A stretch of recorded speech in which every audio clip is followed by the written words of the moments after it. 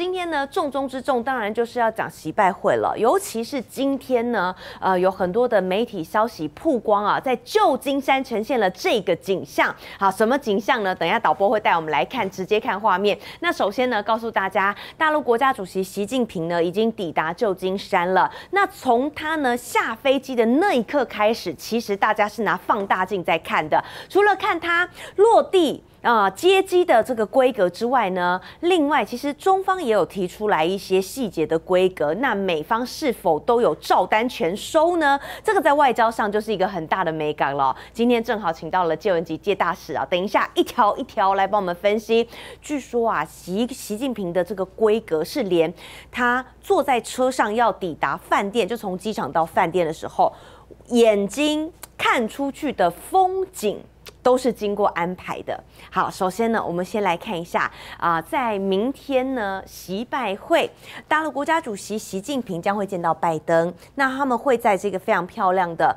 费罗利庄园里头会谈，那会谈的时间呢？现在先曝光是四个小时，为什么会是四个小时呢？因为据说来这个重点，这个长度呢要胜过去年 G20 在巴厘岛。之前他就说啊，要重返巴厘岛，要前进旧金山。那现在呢，的确已经到了旧金山了。那我们也看到了啊，美中在这一次的努力上啊，的确呢不不同往常，试出了蛮多的善。意那上次呢，在 G 团体谈了三小时，这一次直接先先喊好要四个小时。那这一次呢，大陆国家主席习近平还会出席两场活动，美国商界还有文化界领袖的招待会。然后呢，随后习近平主席会发表谈话，这个主题叫做“致美国及中国人民”。当然。中美元首的这场会谈哦，里面有很多的小细节都是有猫腻的。我们先来请教谢大师，你怎么看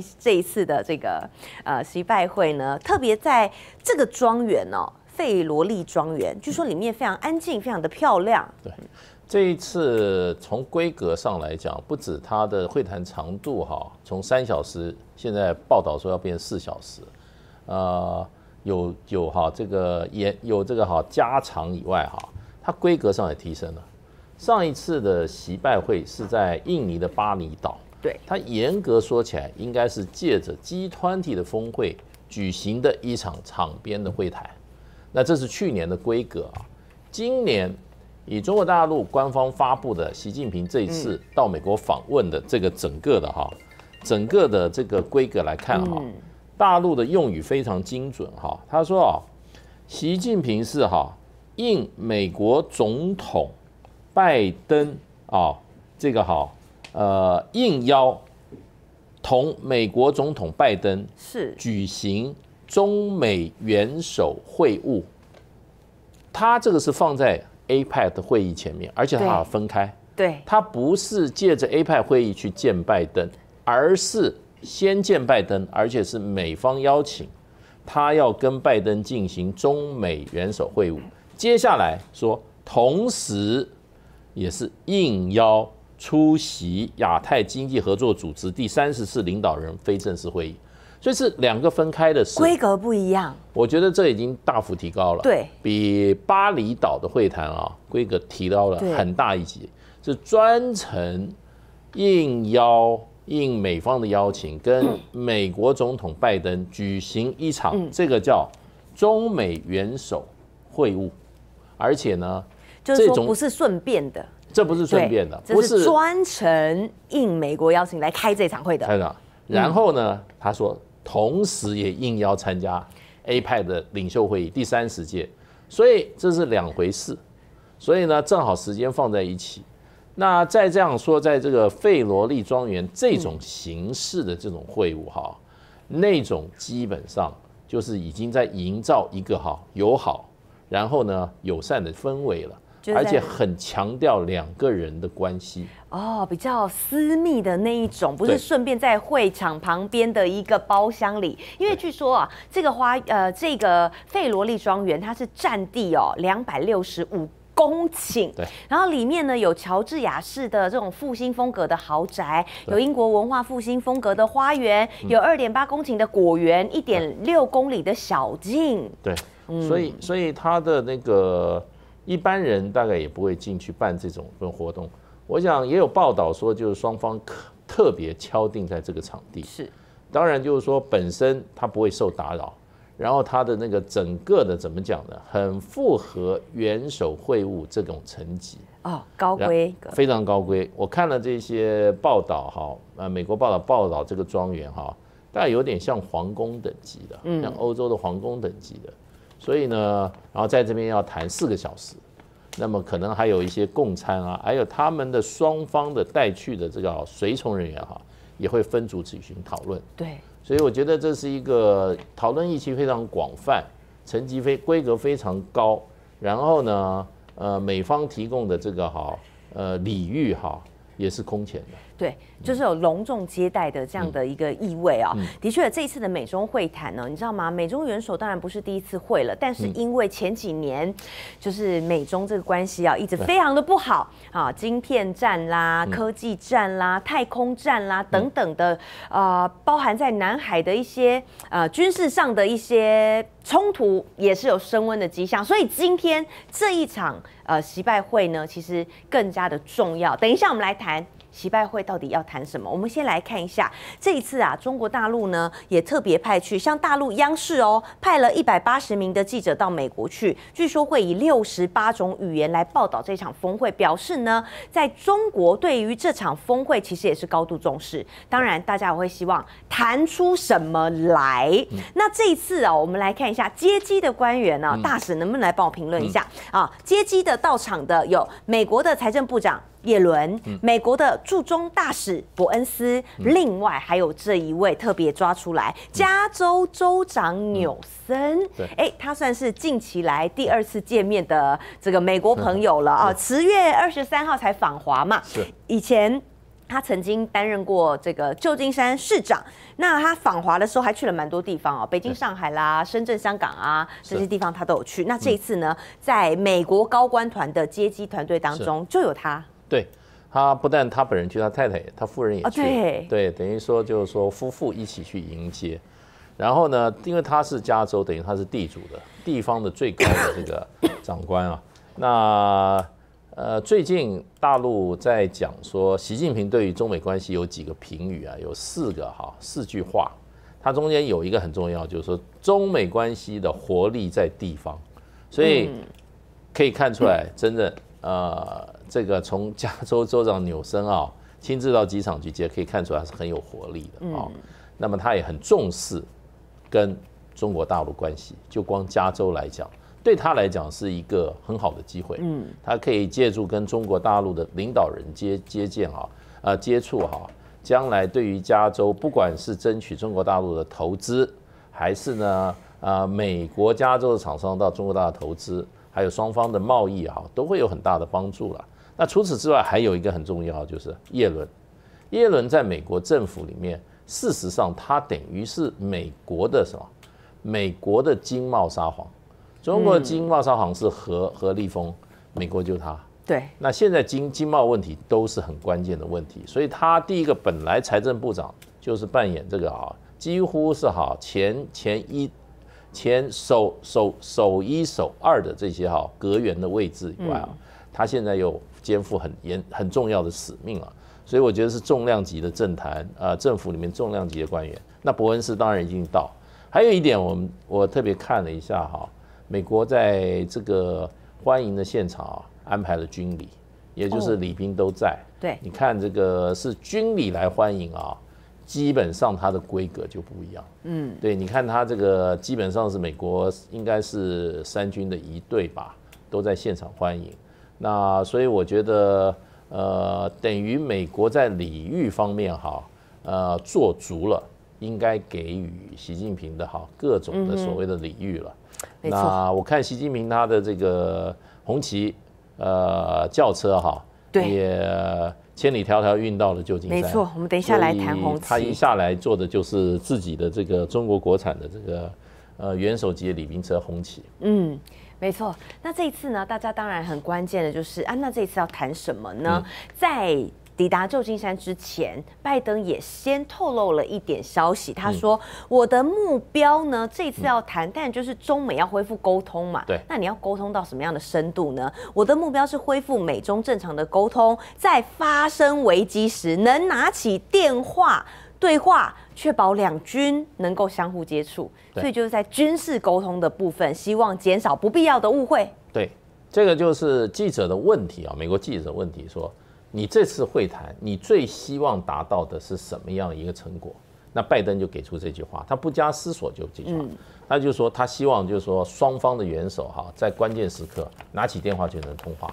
那同样是两军的这个哈，这个最高的这些哈呃指挥指挥官啊，在关键时刻拿起电话就可以通上话，然后避免双误判，避免啊不必要的冲突了。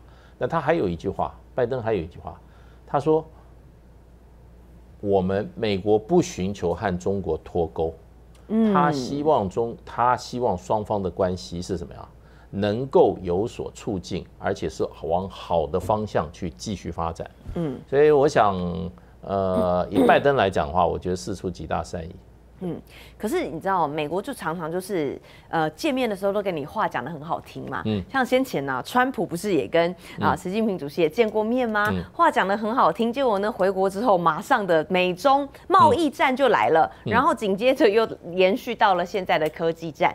好，所以这一次呢，会不会谈台湾问题呢？我们来看一下，呃，有一些媒体也分析报道啊，做了一些点名哦。包含了，呃，大国的影响力也要发挥出来。习拜会是否有可能会谈这些题？当然，现在的中东冲突、以巴问题、以哈问题，然后呢，俄乌战争、俄乌冲突，还有呢，AI 人工智慧、公平贸易、经济关系之外呢，台湾问题。那台湾问题会谈到什么样的深度呢？我们先来看一下啊，中美元首会晤，大陆国台办发言人朱凤莲今天就提到了，他说，台湾问题就是中国核心利益。中的核心，所以呢，这一次啊，呃，这个习拜会呢，会前就有很多媒体在猜了，也有很多消息放出来说，啊，将会提及台湾问题必谈，然后呢，美国总统拜登也会提出大陆干预台湾大选等等的议题，但是朱凤莲回应，他说希望美国信守严肃政治承诺，反对台独。我们先来听一下他的原话，对。中美元首会晤呢，外交部已经发布了相关的消息。我们在这里指出，台湾问题是中国核心利益中的核心，是中国内政，不容任何外来干涉。我们希望美方以实际行动恪守对中国做出的严肃政治承诺，恪守一个中国原则和中美三个联合公报规定，旗帜鲜明的反对态度。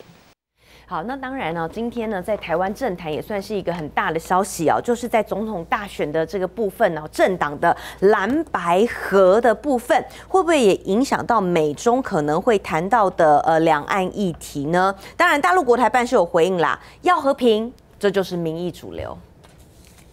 对，我想就是说，其实，在台台湾政局未来的发展啊，呃，大陆跟美国是有共同利益的。就说当然都不希望台湾的政局啊往一个失控或者往一个极端的方向走了。那当然蓝白河就代表这个中中间的力量整合起来。嗯，因为今天绿营是一个台独的一个好工作者，他是一个台独的主张台独的一个政治人物啊，那是往极往往这个好往这个这个是个好偏激的方向走。我想就美国人来讲的话，也是一个难以掌控的一个因素。所以很早开始，美国就在讲说。哇，赖清德这个暴冲的这种哈政治记录哈，他会不会成为陈水扁第二啊？而陈水扁从他开始进入政治到他最后退，他都没有讲什么，嗯，他都没有讲他是台独的工作者。对，陈水扁最多讲到一个两国论啊，不一边一国啊，对不对？那他没有说他是台独工作者，还务实台独工作者，所以这个对美国跟大陆来讲，他们会去。协调出一个对于台湾的一个共同立场，可是他不希望台湾本身的变数变成他两方哈完全失控以后，不晓得互相怎么样来哈面对一个对彼此都是很大的一个冲击的一个一个挑战的状况，所以势必会谈台湾问题。不过我觉得也不会谈到太太太太不会谈太多太多，因为对中国大陆来讲的话。中国大陆的立场是台湾是中国大陆领土不可分割的一部分，那他也不愿意美国用一种哈一种哈有权发言、有权干涉的角度出来做做做谈这个问题。嗯，可是他想要知道，如果发生什么状况，美国会怎么怎么来处理，而他也会告诉美国，如果台湾台海之间出现了一个什么状况，他的可能的政策选择，他可能的步骤是什么。这个我们就是说，英文里面就要 compare note，大家把这个哈想法交换一下。那像这个有记者问这个说，呃，问这个 Sullivan，他说你会不会，你们会不会强烈的要求哈，这个习近平啊，就是说呃不能去干涉这个台湾的选举？对，Sullivan 根本答都不答。因为这个问题就是一个假议题吗？这个问题就是个假议题，是，即使双方谈也不会谈到这个程度。嗯哼，我认为不会谈到这个。太细节了。对，太细节了。那不过对习近平来讲的话，这个是要他要摸西，他要摸拜登的底。嗯，因为在今天这个蓝白河这个消息还没有出来之前，台湾海峡、台湾的政情正走上一个非常怎么讲，非常不可测的，可能是一个狂风暴雨的一个未来。那对两岸关系会造成的冲击也是前所未有的。嗯，你说中国大陆习近平怎么不会预做准备，预做很多备案呢？他也就是几种情境下来，他要怎么做？那他一定会把告知美方，让美方啊，你你知道，反正这种事情就是我什么状况，我非这么做。一定会告知美方。哎，很多人之前其实，在讨论哦，在这场呃的这个习拜会里面啊，台湾会不会被美国卖掉？嗯，美国卖台湾又不是第一次。对啊，我我我我在大学的时候，有一天突然那个报纸出来，美国跟中华民国断交了。嗯，然后呢，卡特总统啊，然后呢，美国做了三件事：断交、废约、撤军。嗯，我小时候到中山北路都是美军啊，美军顾问团就在那个地方。我小时候在建国南路上课，每天走的是建国南路美军顾问团的总部，天天都看那些高鼻子蓝眼睛的美军啊，在街上的一大堆啊，对不对？就突然有一天他就断交，然后说撤就撤就对了，说撤就撤啦，那不是出卖吗？对不对？那时候哇哇，那时候蒋蒋经国总统说啊，要什么？处变不惊，大家不要怀忧丧志，我都听得很记得很清楚啊。所以不是我们不信任美国了，嗯，而是说我们都经过了这些，经过这些，所以我们不会，我们不会完全相信。我们也美国有美国的利益考量啊，他为什么要对台湾做出哈不符合他利益的这种承诺，嗯，或者作为呢？这是你如果有有这种期盼的话，那就怎么样？那就是自己本身的判断有问题，嗯，对不对？要安全，要幸福，要和靠谁？靠自己。我们要靠自己的政策来确保我们台湾的安全，台湾人的幸福。你都靠美国，美国以前一九七九年嘛，一九七八年嘛，我那时候在大学四年级、三年级啊，就是美国就断交、废约、撤军啦。对啊，那时候你知道我们台北市房地产跌得多惨啊？多少人在买飞机票跑跑离开台湾呐？嗯，对，那个我们都经过过的，所以你们现在要我们说相信美国，我永远会打一个问号。哎，我会有所保留。国家要安全，人民要有钱嘛。嗯，那其实我们照惯例来看啦，以前曾经跟被美国帮过的那些国家，嗯，啊，其实下场好像也都没有很好。比如说阿富汗啦，呃，伊拉克啊，哎，越南啊，很多国家啊，其实最后呢都是一个打回原形，甚至现在更惨。你看叙利亚现在，呃，美国介入之后有比较好吗？他们有打赢吗？没有。太阳星全效克菲尔益生菌，我吃了两三天，最明显的感觉是睡眠品质竟然变好好了。睡得好，让我整个人工作更专注，心情也变得更稳定更好。因为太阳星全效克菲尔益生菌，才让我认识到克菲尔益生菌，它是由多支菌种的益生菌所组合而成，不仅能够维护消化道机能正常运作，还拥有多种有益健康的保健功能，相当强大。你知道吗？有台大教授专门研究它，称它是神仙的礼物。上千篇的国际研究证实，克菲尔益生菌不仅帮助肠道健康，肠道菌透过肠脑轴影响全身器官，所以维持肠道菌丛的平衡是解锁身体健康、精神健康的钥匙。对帮助睡眠、维持好情绪真的很有感。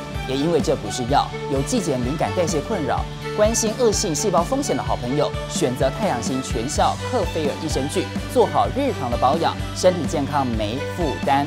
每日克菲尔时刻美好，Good Feel Feel Good，请上快点购健康下单，输入推荐代码有额外的折。